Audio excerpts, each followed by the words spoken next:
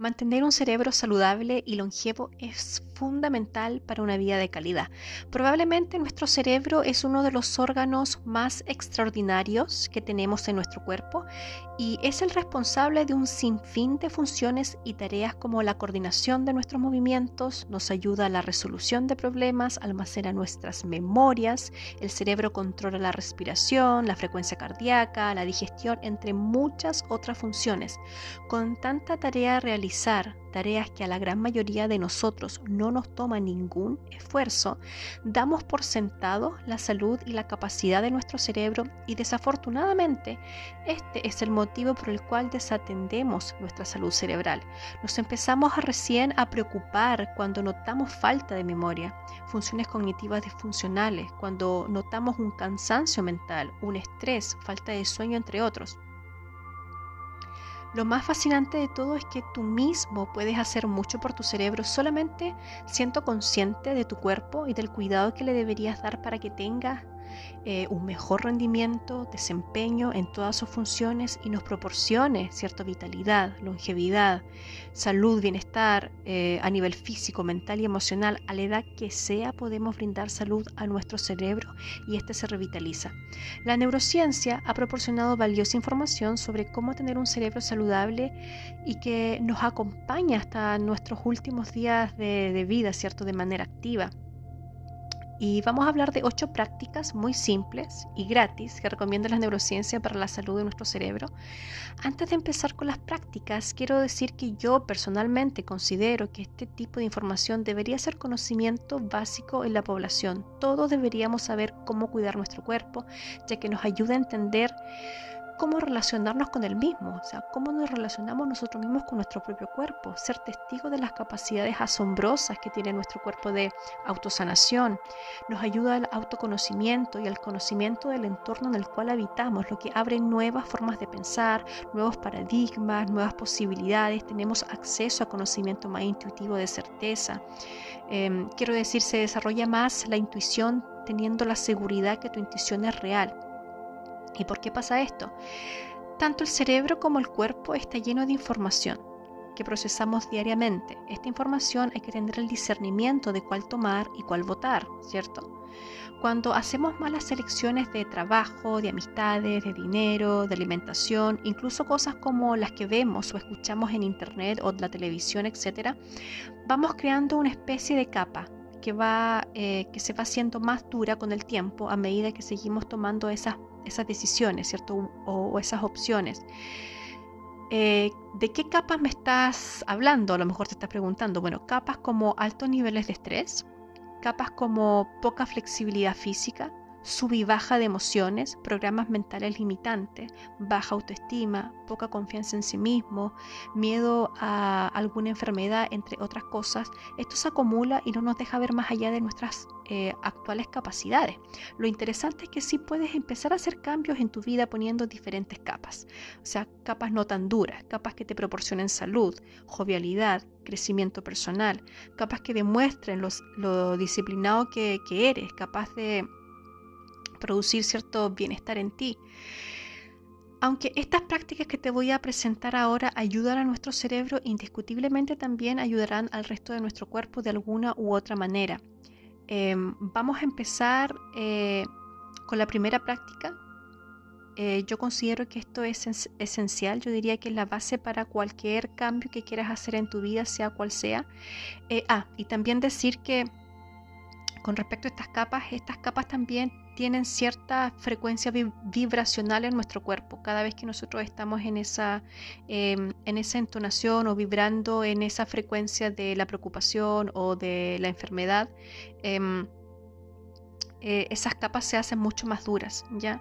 Entonces es importante empezar a, a estimular, ¿cierto? Estas prácticas que te voy a mencionar ahora, para que si esas capas duras que son más negativas, ¿cierto?, se disuelvan y prioricen, ¿cierto?, las capas de la salud y del bienestar. Entonces, vamos con la primera. La neurociencia em, recomienda la estimulación cerebral constante y aquí nos vamos directamente a lo que es la neuroplasticidad.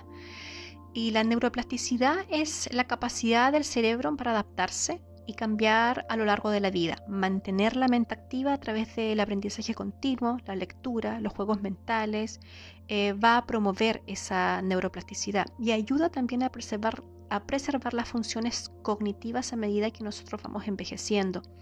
La neuroplasticidad es un concepto fundamental en la neurociencia que se refiere a la capacidad del cerebro para cambiar y adaptarse a lo largo de la vida en respuesta a la experiencia, al aprendizaje o a alguna lesión. La atención focalizada, eso es neuroplasticidad. La neuroplasticidad es la atención focalizada, se activa con la atención. Si hacemos una nueva eh, actividad muchas veces de de manera enfocada, estaremos dándole al cerebro esa neuroplasticidad, esa oportunidad de hacer cambios grandes en nuestra vida y salud. Estudios científicos eh, han demostrado que el aprendizaje continuo, la práctica de habilidades cognitivas y la resolución de problemas fortalece las conexiones neuronales y mantienen la función cerebral. Para eso, aprender algo nuevo es clave para promover la neuroplasticidad. Aprender algún idioma, lee acerca de una cosa nueva que te gustaría aprender, estimula la disciplina o el orden, o quieres cambiar algo que no te gusta de ti, como tu temperamento, estúdialo, enfócate, aprende cómo controlarlo, aprende a cambiar pensamientos limitantes. Todo lo nuevo, todo lo nuevo que tú quieres integrar a tu vida promoverá la neuroplasticidad. También otro punto importante es la dieta saludable.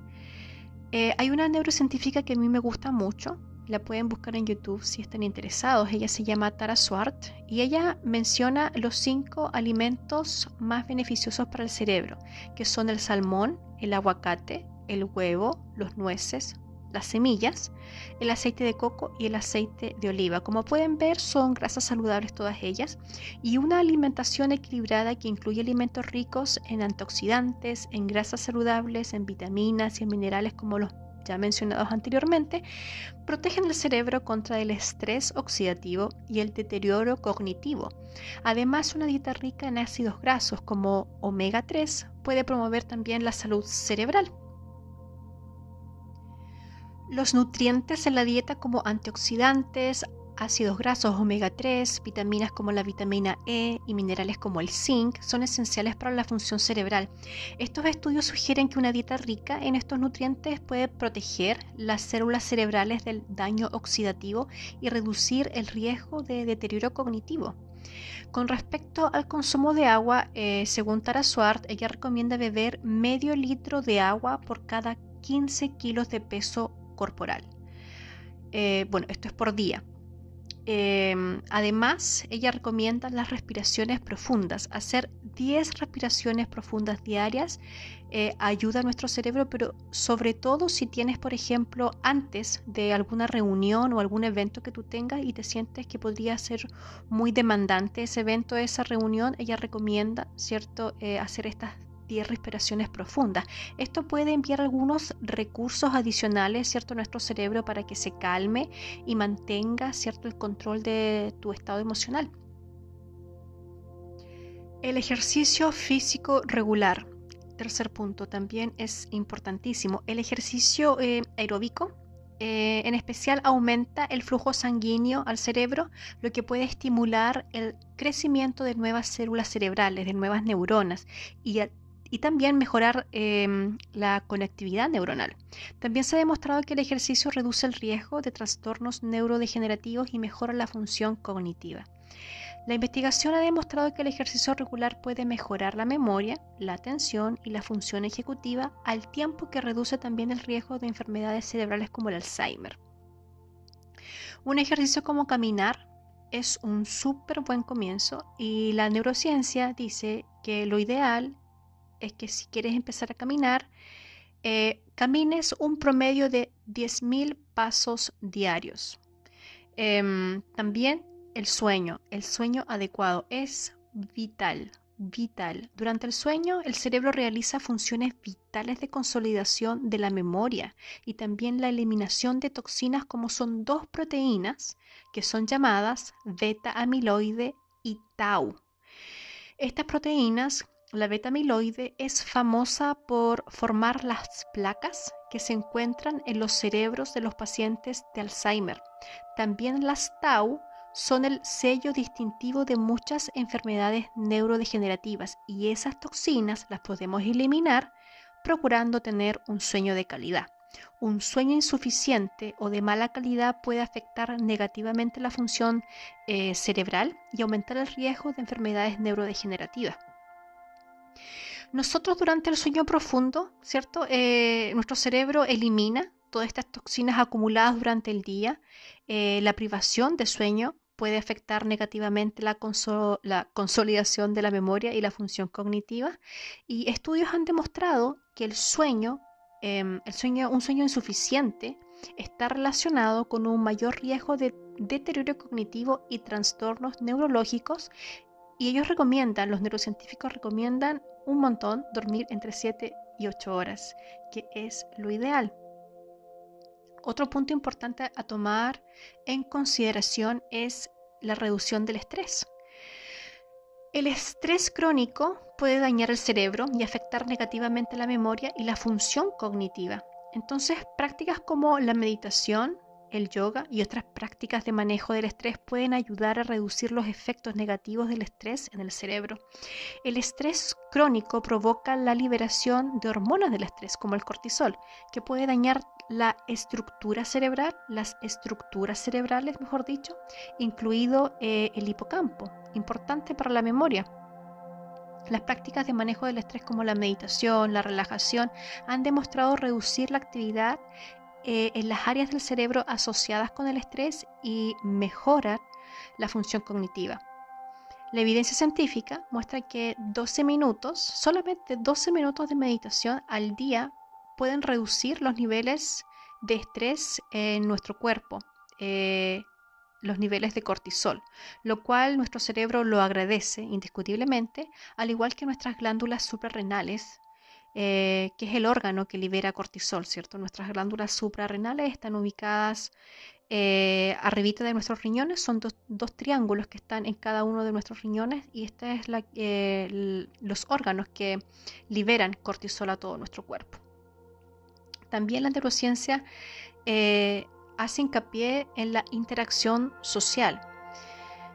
Las relaciones sociales estimulan el cerebro, y ya hay bastante eh, información con respecto a eso, ¿cierto? Eh, estimulan el cerebro y también promueven la salud mental, la participación en actividades sociales y mantener conexión emocional puede ayudar a prevenir la depresión y el deterioro cognitivo.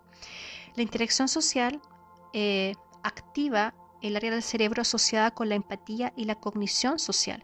Entonces, estudios eh, sugieren que la participación en actividades sociales y el mantenimiento de relaciones emocionales pueden ayudar a preservar la función cognitiva y reducir el riesgo de depresión o aislamiento. Em, bueno, este tipo de cosas obviamente pueden afectar el cerebro de manera negativa y es importante interactuar con las personas que nos hacen sentir bien y con las cuales nos gusta estar y pasar nuestro tiempo con ellos, ¿cierto? Otro factor es el factor de riesgo, controlar los factores de riesgo. ¿Qué es esto? Hay muchos factores de, eh, de riesgo como un riesgo cardiovascular, como un riesgo a la hipertensión, la diabetes. diabetes. Entonces, estos tipos de, de factores de riesgo, ¿cierto? Pueden dañar eh, los vasos sanguíneos y aumentar el riesgo de accidentes cerebrovasculares y enfermedades cerebrovasculares.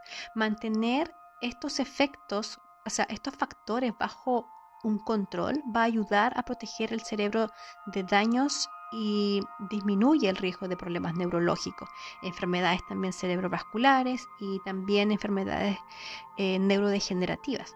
Si incluyes estas prácticas que ya te he mencionado, como hacer ejercicio, alimentarte saludable, eh, etc., eh, también vas a ayudar a tener un control de estos factores de riesgo. También la neurociencia nos dice que debemos evitar el tabaco, ¿cierto? El tabaco y el exceso el consumo excesivo de alcohol. es como obvio, ¿cierto? Siempre se ha hablado de esto, de que hace muy mal para la salud. Y bueno, ambos hábitos pueden dañar el cerebro y aumentar el riesgo de demencia y otros trastornos eh, neurológicos.